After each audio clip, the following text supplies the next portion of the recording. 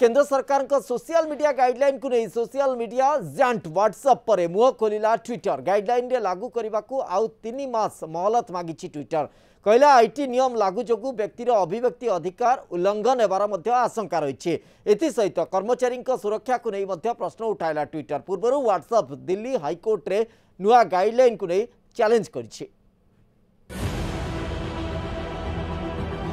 WhatsApp Twitter କେନ୍ଦ୍ର ସରକାରଙ୍କ social media ଗାଇଡଲାଇନକୁ ନେଇ ମୁହଁ ଖୋଲିଛି ସୋସିଆଲ ମିଡିଆ ଗାଇଡଲାଇନକୁ ଲାଗୁ ପାଇଁ ଥିବା ଡେଡଲାଇନକୁ ଆଉ ତିନି ମାସ ବୃଦ୍ଧି କରିବାକୁ ଟ୍ୱିଟର ଆବେଦନ କରିଛି କେନ୍ଦ୍ରର ସୋସିଆଲ ଗାଇଡଲାଇନ ଦ୍ୱାରା ବ୍ୟକ୍ତିର ବାକ୍ ସ୍ୱାଧୀନତା ଭଳି ଅଧିକାର ଉଲ୍ଲଂଘନ ହେବ ବୋଲି ଟ୍ୱିଟର ଆଶଙ୍କା ପ୍ରକଟ କରିଛି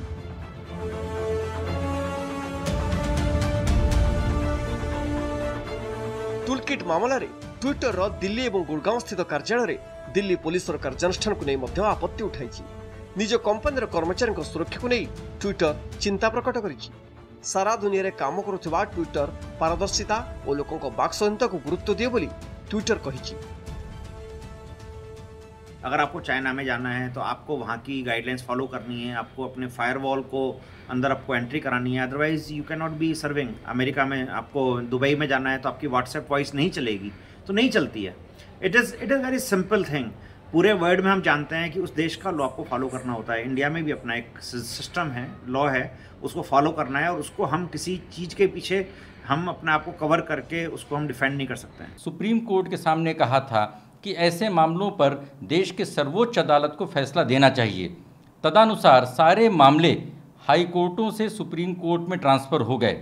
तो जब ऐसा ही मामला इंक्रिप्शन का मामला सुप्रीम कोर्ट के सामने पेंडिंग है तो उस मामले पर एक नई अर्जी लगाने के बजाय दिल्ली हाई कोर्ट में याचिका दायर करने से यह संदेह होता है कि व्हाट्सएप इस मामले को किसी तरीके से डिले करना चाहती है ଗତକାଲି ହ୍ୱାଟ୍ସଆପ୍ କେନ୍ଦ୍ରର ସୋସିଆଲ ମିଡିଆ ଗାଇଡଲାଇନକୁ ଚ୍ୟାଲେଞ୍ଜ କରି ଦିଲ୍ଲୀ ହାଇକୋର୍ଟର ଦ୍ୱାରସ୍ଥ ହୋଇଥିଲା ଗାଇଡଲାଇନ ଲାଗୁ ହେଲେ ବ୍ୟକ୍ତିର ବାକ୍ ସ୍ୱାଧୀନତା ଉଲ୍ଲଂଘନ ହେବ ବୋଲି ହ୍ୱାଟ୍ସଆପ୍ କହିଥିଲା ମେସେଜର ଅରିଜିନାଲ କପିକୁ ସର୍ଭିସ ପ୍ରୋଭାଇଡର ସଂସ୍ଥା ରଖିବା ବାଧ୍ୟ ଏହି ନିୟମ ଗୋପନୀୟତା ଭଳି ମୌଳିକ ଅଧିକାରକୁ କ୍ଷୁର୍ଣ୍ଣ କରିବ ବୋଲି ହ୍ୱାଟ୍ସଆପ୍ କହିଥିଲା ये जो कानून में परिवर्तन आया है जिसमें इंफॉर्मेशन टेक्नोलॉजी रूल्स की आ, सरकार ने अमेंडमेंट करी है सेंट्रल गवर्नमेंट ने अमेंडमेंट करी है इससे प्रिवेसी की जो राइट है जो right of freedom of speech and expression है उस पे ठेस पहुँच सकती है। यही भय है लोगों में जिससे बहुत से लोग व्हाट्सएप की जो चैट्स हैं उनसे घबराते हैं। इस तरह के कानून को लागू करने से ऐसे लगता है कि सरकार व्यक्तियों के हर आ, कहने पर और कथनी पर अपनी नज़र रखना चाहती है, जो आज़ादी की परंपरा के विरुद्ध है। मैं उम्मीद करता हूँ कि सरकार अपने कदम पर पुनर्विचार करेगी। I fully agree with the policy of central central government which says mandates the to trace origin of a message many times we have seen that unnecessary derogatory messages about particular persons are being made viral, but the aggrieved person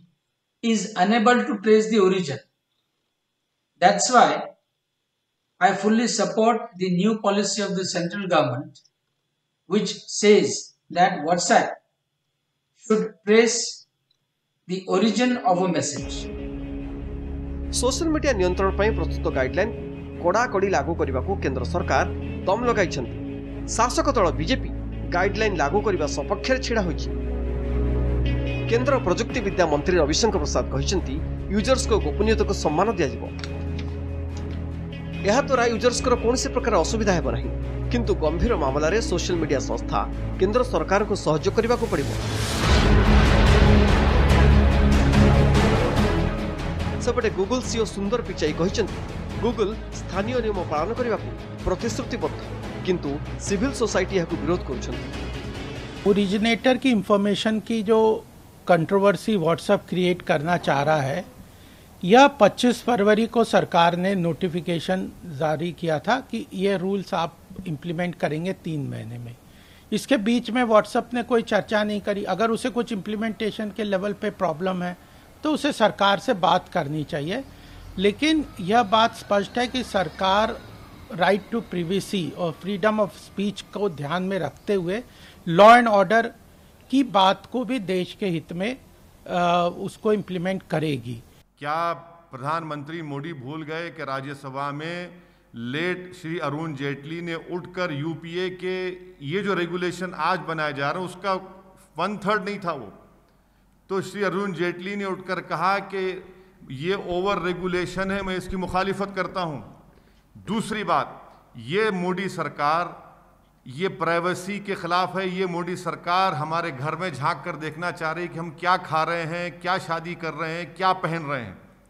ये जो rules बनाए गए हैं, ये unconstitutional है undemocratic है। और ये भारत को ले जाकर खड़ा कर देगा चाइना के साथ ये भारत को ले जाकर खड़ा कर देगा रशिया के साथ ये भारत को ले जाकर खड़ा कर देगा नॉर्थ कोरिया के साथ जहां पर डेमोक्रेसी नाम की कोई चीज़ नहीं है ଚଳିତ ବର୍ଷ ଫେବୃଆରୀ ପଚିଶ ତାରିଖରେ କେନ୍ଦ୍ର ସରକାର ସୋସିଆଲ ମିଡିଆ ଗାଇଡଲାଇନ୍ ଜାରି କରିଛନ୍ତି ଏହାକୁ ଲାଗୁ କରିବା ପାଇଁ ତିନି ମାସ ମହଲତ ଦେଇଛନ୍ତି ଅର୍ଥାତ୍ ମେ ପଚିଶ ତାରିଖରେ ଏହାର ଡେଡ୍ଲାଇନ୍ ଶେଷ ହୋଇଛି କିନ୍ତୁ ହ୍ୱାଟ୍ସଆପ୍ ଟ୍ୱିଟର ଗୁଗଲ ଇନଷ୍ଟାଗ୍ରାମ ଭଳି ସୋସିଆଲ ମିଡିଆ ସଂସ୍ଥା ଏହାକୁ ଏପର୍ଯ୍ୟନ୍ତ ଅନୁପାଳନ କରିନାହିଁ ବରଂ ଏହାକୁ ଲାଗୁ କରିବା ଲାଗି ବିଭିନ୍ନ ଆଳ ଦେଖାଉଛନ୍ତି ବ୍ୟୁରୋ ରିପୋର୍ଟ ନ୍ୟୁଜ୍ ସେଭେନ୍